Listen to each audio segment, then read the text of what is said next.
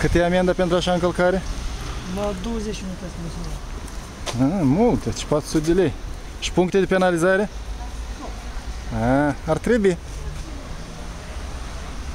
Mai ales pentru numere cu RMP. Tratament special ar trebui.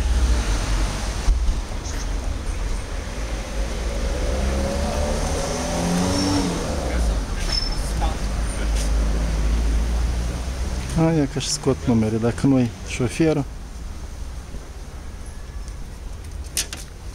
scriu dată de urmă. Dar eu pentru ce trebuie Dar să... solicitant. Și nu solicitant, eu vă scriu cine solicitant. Eh, hai. Bine, bine. Hai să Mă văd leg dacă pe tată, Ion, Dacă te spun. anul naștere, 73.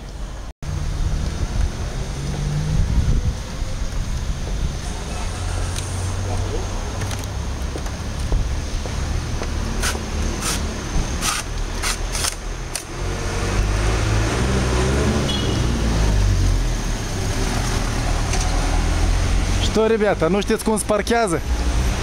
Păi dacă sunteți liberali, vi se poate.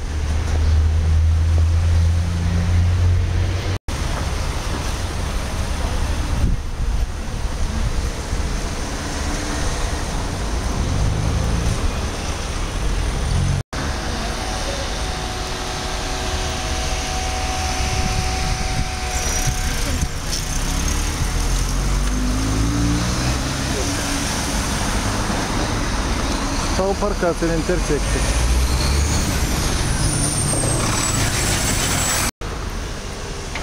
Domn polițist, șoferul pleacă. O să rămâneți fără proces verbal. O să vă cheme la partid să vă plătească cotizație.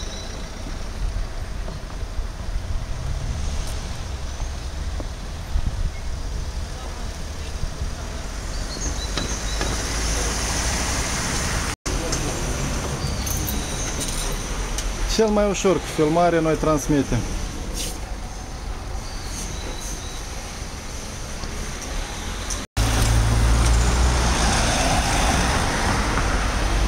Și mașina de la Parlament o să aibă scrisoare de la poliție. Bun și așa.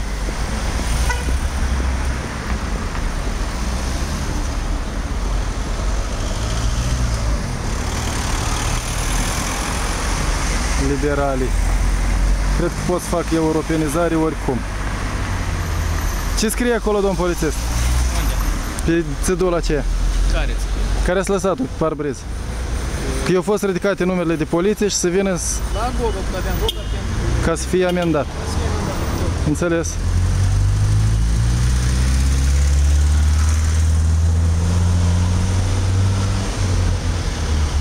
Da, alte mașini care stau, iată, parcate pe trotuare, inclusiv lângă școală, inclusiv în intersecții, lângă trecerea de pietoni și pune în pericol viața pietonilor. Nu le observă poliția.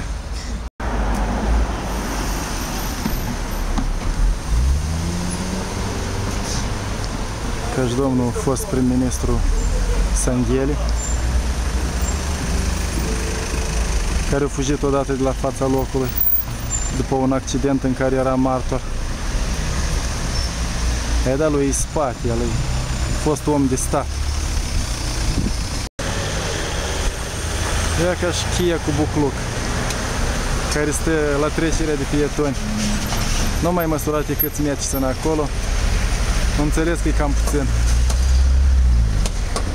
Lor amenda, nu lor amenda, dar măcar să să-l facă să regrete o leacă.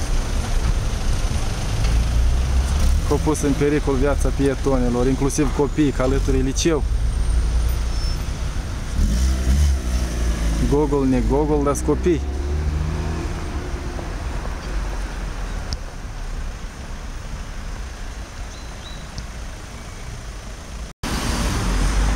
Unu, doi, trei, patru, cinci, șase.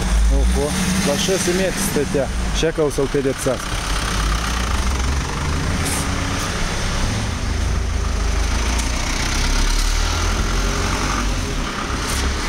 Dacă vrei, faci ordine, dar trebuie să ai poliția de partea ta.